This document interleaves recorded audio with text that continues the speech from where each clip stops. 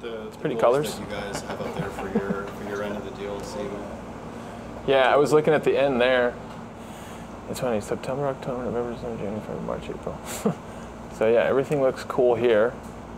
Yeah, those last three months right there seems like there's gonna be a lot of changing. From November to February looks a little crazy. Um, yeah, man. It's gonna be pretty nuts.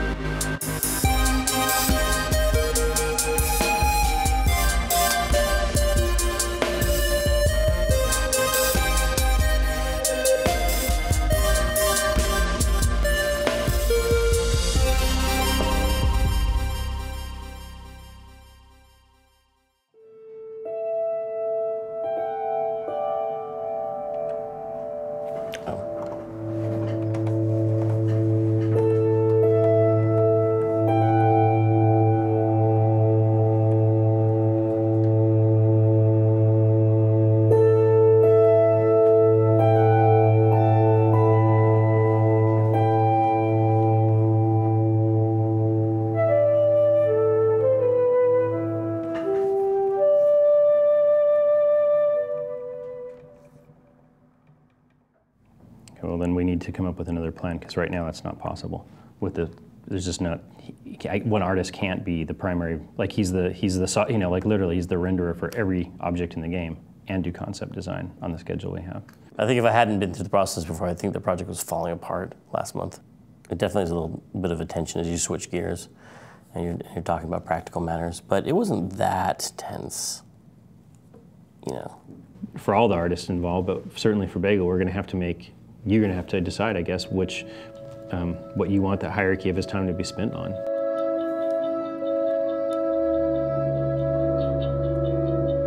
I wanted to come up with both the, you know, that really inspired just like content and then the actual style, both. There's, there's other options there, then we've talked about all those options. Um, I don't think we've committed to one particular solution yet. I think it's an ongoing conversation, uh, so not really.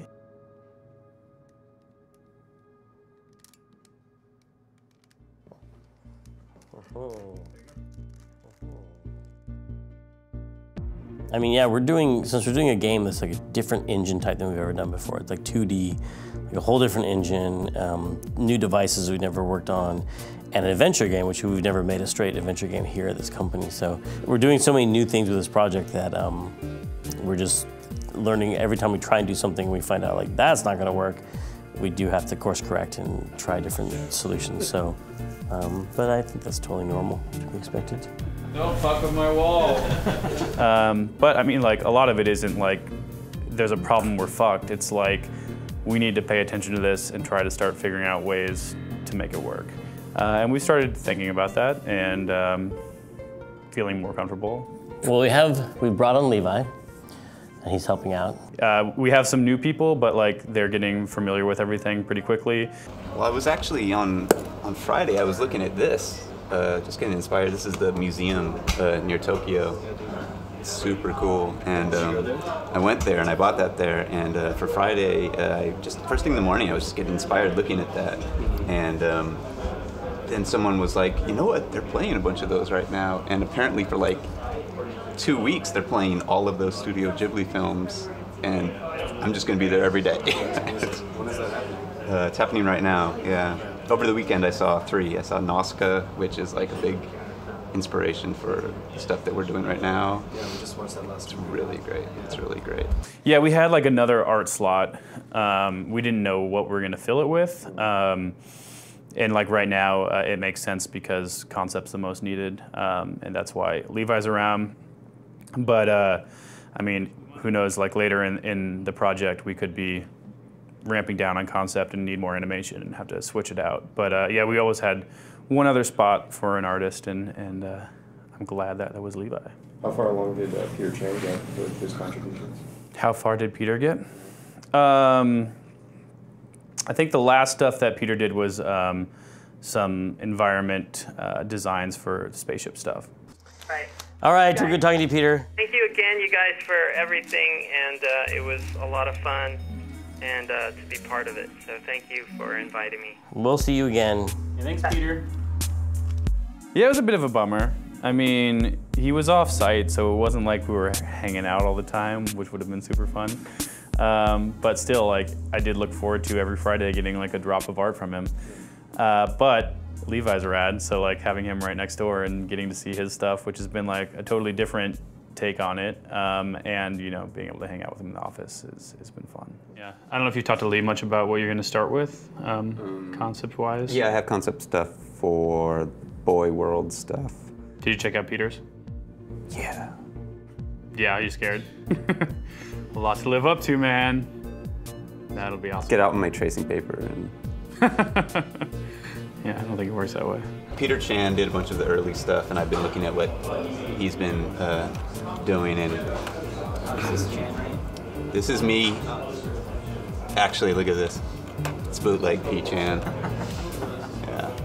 And uh, we have interviewed an intern, an art intern, which uh, everyone, I haven't met her yet, but everyone seemed to like her and think she was good and, be, and that would help too.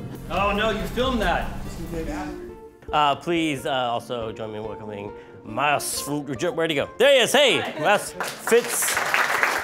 I'm gonna have you pronounce your last name. Can you pronounce your last name for us? Uh, Fitzek.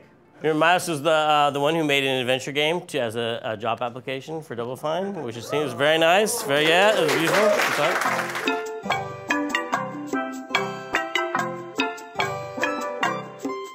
I, I heard about the Double Fine adventure and was super hyped and um, yeah, I thought like if I want to, if there's a chance to work with my idols on, on a 2D animated game, then this is like the only chance maybe ever. So I, uh, I made an um, application video game. Our plan is to actually release that as a Double Fine adventure and then pocket all the Kickstarter money. We'll give you a small percentage of it. How long will Miles be here, Mr. Greg Rice? Three months. Be here three months. Holy cow. And what will he be doing? Who knows? Who knows? Animating. He's doing some animating on Reds. But I um, started with a whole cinematic uh, approach on the very first cutscene, just just to see how it feels. I thought of a very quiet start where we first see the st- spaceship because I don't I, I don't remember a point at, at the at the space boy part where we actually see the ship. Miles is great. Like he's like, um, he'll just show us a you know a storyboard, and it's really hard to like have someone do something that's really great and really funny, but just for what you were thinking of, it's maybe it's not right. In the same way, the girl starts, she's just laying on the hillside, and it's not a cut scene, but like a steady state that you exit out of by tapping. And the same way with this, it's really got to be that it pans over and shows him, and he's laying there in the bed, in the same kind of just you know, and and, and it, um, so you gotta like tell him that, uh, like I had to tell him like those whole sequence was backwards and this is, and he's like, oh great, okay, great, and then I come back the next day and it's completely different, exactly what I wanted, and it's perfect, and it's like, oh that's great. Doop de doop dip doop boop. Wow. Yeah. Nice. Hello, son. Wake up. Wake up. And that's back in the wall.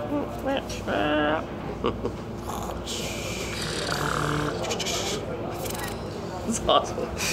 That's hilarious. You know, it's like finding someone like that is really, it's hard to find people like that, and so you gotta kind of hang on to them. Of course, he's supposed to go back to school, so then you have to figure out whether you want to derail someone's education by trying to recruit them to come to your company, which of course I have no problem with. I'm already done thinking about it, and I've already thought about it while I was saying that sentence. So, so much for his education. We're finally like fully staffed, and we've got like our whole team. Our all our budget's totally spent on everyone who's on the team. So, and I think that uh, you know a month or so from now, it's going to feel like uh, everything's just kind of moving forward steadily, and, and the game is being made.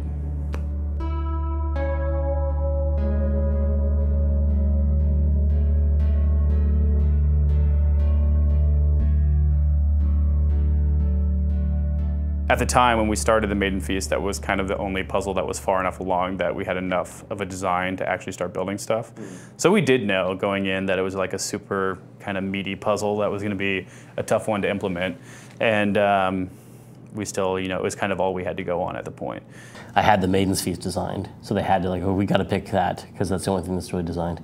But by the time we'd gotten it to like a first pass kind of state, then we had designs for this cloud colony stuff, which we knew was just a lot um, easier to implement and a lot more indicative of the rest of the game.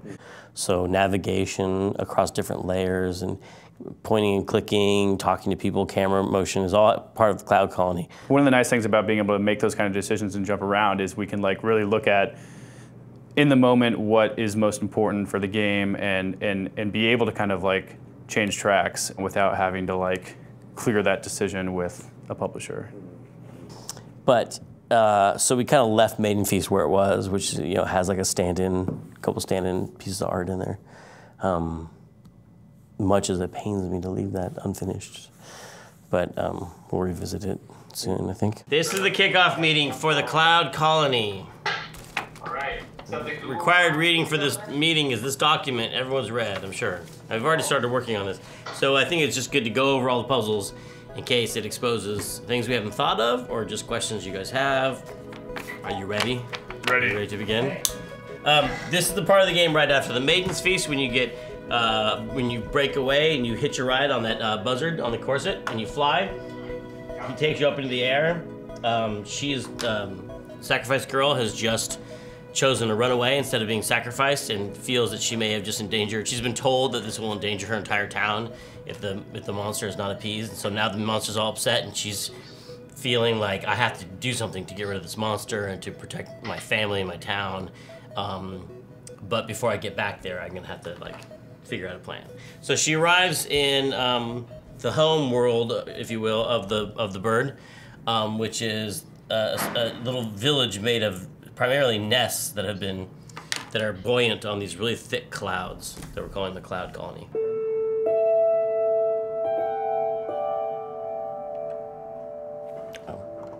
I feel much better because I actually, like, I felt good after I wrote that cloud document, but that was really only like four puzzles. And the spaceship one has like 16 puzzles in it or something. So I'm catching up now.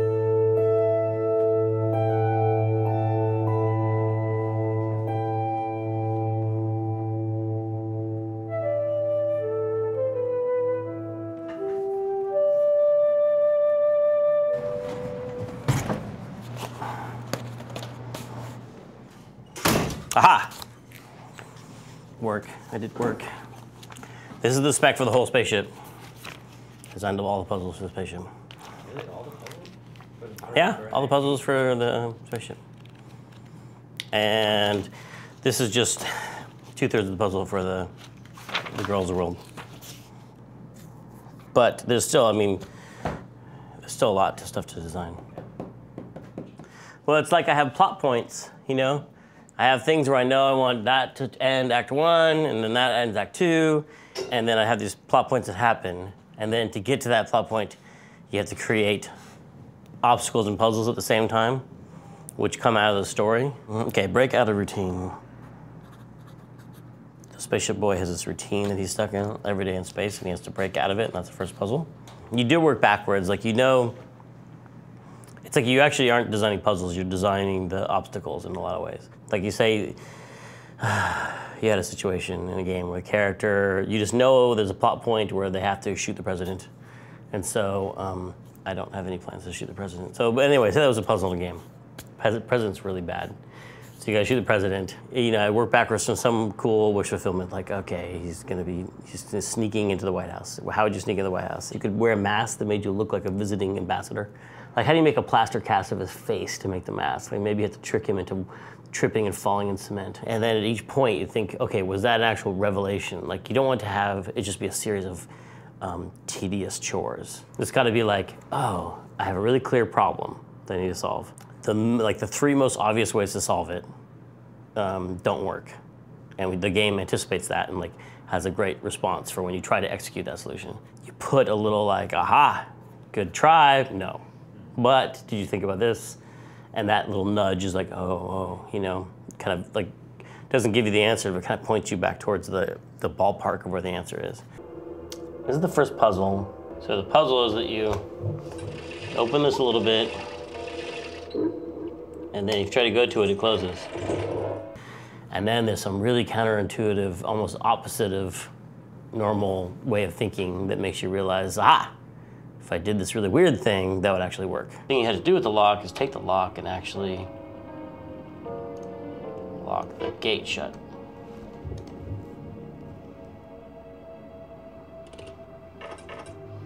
So now, when you try and pull the chain, it can't pull the gate up, and instead,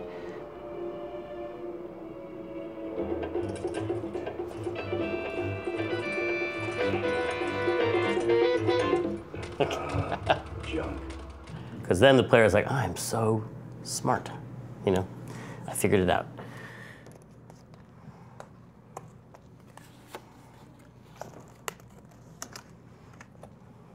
Now that a lot of stuff is designed ahead of those guys and they're able to look at it and, and work on it, that always relieves a little bit of tension.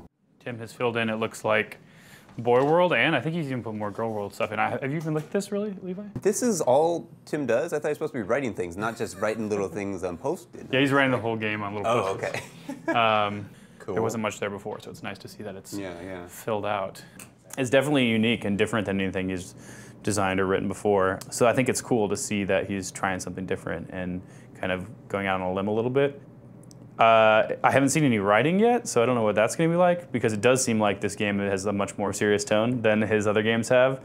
But I'm excited to get to that point where I start seeing Tim's writing because I'm sure it'll be awesome. So far, this is in the game. This is all in the game. Looks like this. This is Mhm. this is all in the game. And now we're going to be starting on some of this stuff. Coolio. Yeah, and uh, we have an approved girl, uh, so that's exciting. So let's see. So let's look at the Suicide Girl. So she's got. See, you call her Suicide Girl too. Yeah. It's Sacrifice Girl. I know it is.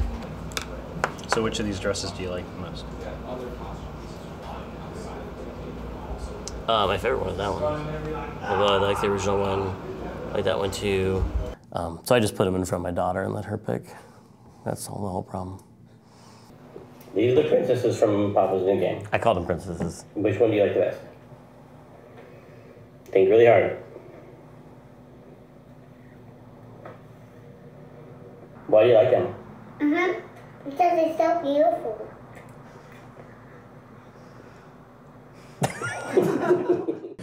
Um, and she's looking good. We just got her in game. She's walking around and everything. Um, the boy is getting there. We've done like two rounds on him. Scott's been working on characters in the morning. He's been kind of splitting his time with a book that he's working on or an, an art show or one of the zillion things that, that he does. He's very busy.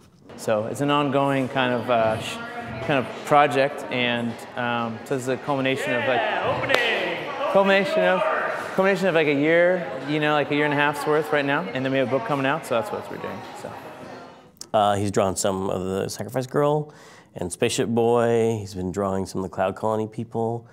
And I'm supposed to look at those, right. I gotta give him feedback on those. I do like that guy too, but then again, he's doing a cool pose. and it's uh, it's going great, man. It's looking really good.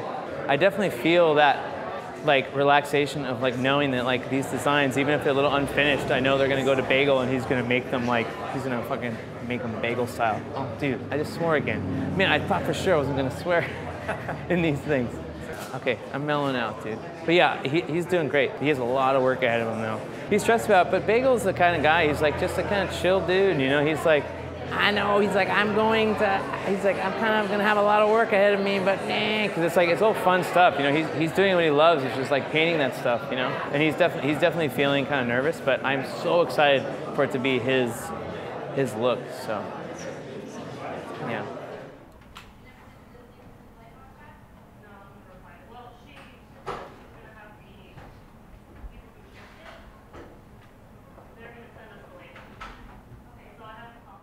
So bagels in the studio. Yeah, Bagel's in my house this week. What? he had to take uh, Myos's spot from the couch, so Myos got kicked out. I have. I'm like running a hostel right now. Yeah, it's weird. There's a lot of farting going on. he has these weird nerdy glasses that he wears at night. Why is Bagel in the office this week? I don't know. Hi Hey, guys. Hi. Oh my god, you look so real. Your microphone- Come out of the Your camera. microphone's working so well today. Yeah. Finally. Microphone is awesome. Now we can't turn you down. Oh. Lee was starting some new processes with art production, like trying to get Lee, trying to get Bagel to be pretty independent, where he could just paint actual art for the game right into the engine. So getting that set up is really hard to do over Skype or Google Hangouts like we do. Mm-hmm. We don't always have the smoothest conversations over that. I don't know if you noticed. Yeah, you having a plan or? I, I think we're gonna do it tomorrow. Okay, so what's gonna be today? What's that? Gonna be today? I'm sorry, I can't make it out, Hey, man. No, I'm here. This But um, it is good to kind of sit right with them, you know. Yeah, I think this. I think this texture, the the, the painting style goes really well with this sort of weird. Um, the way we're animating it, I think it goes really well with it. I think it's cool. But yeah, there are some things that are easier just to talk to, like walk over to Lee and talk to him. I think I've already done that like three times today, which is pretty nice. And here, like with such a small art team, like it's going to be really important that he's not only painting stuff, but like making sure it gets into the game right and looks good, and, and, and he's viewing it in the game and, and seeing how that changes. So like Brandon spent a lot of time making sure that all the tools he was writing were going to help Bagel um, and make sure that that was a really smooth process. The um, main thing that I've been working on is enhancements to our um, scene editor so that the tool works a little bit more like Photoshop in terms of being able to hide and show the layers that you're working on. We've got the nav meshes in there um, so that instead of just editing these in text files, you can actually, you know, individually kind of lay out the geometry for the walkable areas. Um, just really trying to flesh this stuff out so that the workflow for artists um, is a lot smoother. And it's almost there, so I think that's uh, that's the idea is to try to get him comfortable with that process. Yeah, so you can see. Um,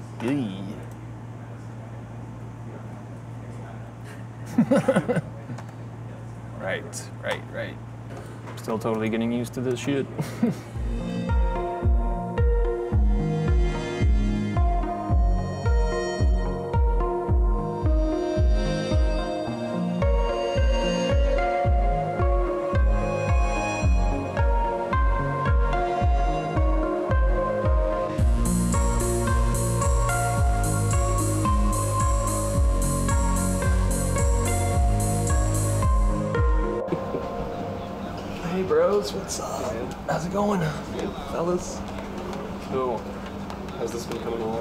almost done. It's almost done. No, I'm just kidding. It's not done at all. I'm gonna give up on it. Come back to it later. and there's a bunch of other shit to do, and I'm, str- I'm, I'm like don't have any fresh eyes on it anymore. You know. I've just been looking at the same thing for like a week, and I'm over it. I'm gonna just work on it until stand-ups, and then Tim's gonna check it out.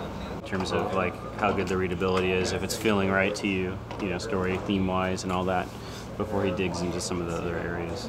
Um, and then, you know, like there's a lot of like when he goes to Cloud Colony. You know, I can see how the world is going to look pretty and how it's going to all look like it's one cohesive thing. But um, the secret thing that I'm hoping for is still we have some of the um, bagels um, ideas that only he would come up with for the landscape. They're just kind of bizarre.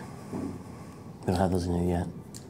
Yeah, this was Peter's Peter's concept ideas. Lee's layout. would I do a painting of this? I'm not sure. I don't know if I would, but I'm like I'm doing a painting of it now. But yeah, man, I'm wondering about that bagel filter thing. I'm just wondering what it what it is. You know. I wonder if Tim's happy with it. I should talk to Tim. But. I have not talked to him about that. I haven't talked to him on this trip about how he's feeling about everything. That'll be interesting. Hopefully, we'll get some uh, alone time. How you feeling about the painting big? No, how you feeling about like you know you've spent, we've been going back for a long time just trying to get a feel for that whole process and the painting process. Yeah, and then like work on those big ass fucking layered files and Yeah, yeah, I'm comfortable with that. I'd like to actually get involved more with like the concept stuff though. Yeah. I feel like I'm just kind of a painter. I just feel like people are expecting it to be mine somehow, you know, or so, cause, just because, you know, that's what people are saying. and like like it's supposed to be my style, but it isn't really. It may be that you're feeling like the painting isn't the side that you care about most. Maybe you feel more about the shape language and the concept design. And we, you know, Levi does painting and you do layouts. Like, I mean, there's there's flexibility there. Where like I don't paint everything, but we kind of like overlook, you know, kind of just try to keep everything together, and that way I'm able to do some more idea stuff. Mm-hmm. Because even now, the way it's going, like I don't think I'd be like even this way, I don't think I'd be able to do all these paintings in four months, seventy paintings by myself anyway. You know. Well, at least if we're gonna say like this is bagel style game, then I would, uh, yeah, at least I would have a little bit more like, yeah, you know, that is my stuff. You know, instead of like, ah, it's like an awesome Peter Chan drawing or something, you know, Mhm. that I colored. Why don't we like finish off this um, uh, sprint until the end of the month, right? I'll try to get all those cloud things going. But I think it's the type of thing where that if we can come up with a sketch of a plan that we think might work, then I think we should try it sooner than later. Because fuck a sprint, who cares? I don't care if it's there's no publisher fucking us in the ass over it. Like, Right. which is the whole point is it's just there to like be milestones Yeah, yeah. as we make this game, Yep. right? So if we if we you know as long as we're meeting Tim's goals for the project, as long as we think we can actually get it done, and as long as we're all willing to give it a shot, mm-hmm. there's no reason in the world we shouldn't be flexible. Yeah. Right. Cool.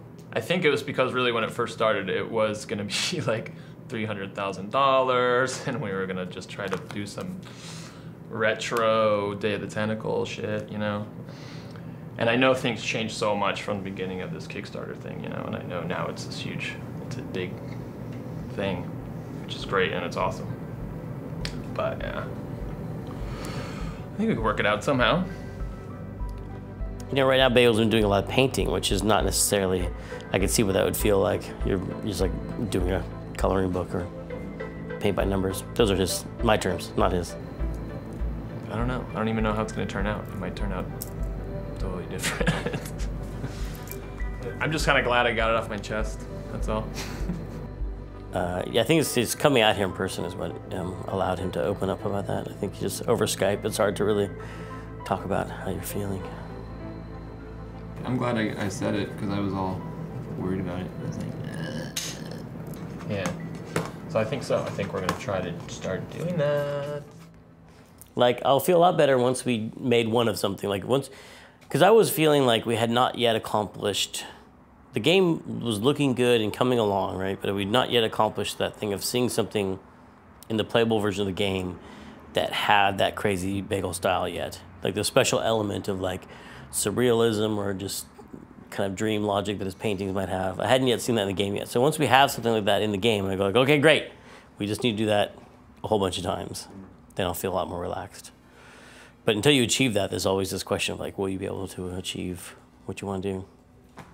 You know, it's tricky because you got to make get the game to look the way you want to look, but also get done on time with the people that you have, and also all those people have to be happy. Yeah, like you're trying to get people to contribute their whole selves to the project. So that's challenging. But it's what I spent most of my time recently, like the last 10 years, recently, like doing, like the sol- trying to solve that problem. How to make a group of people work well together and and bring the best ideas forth and make good stuff together.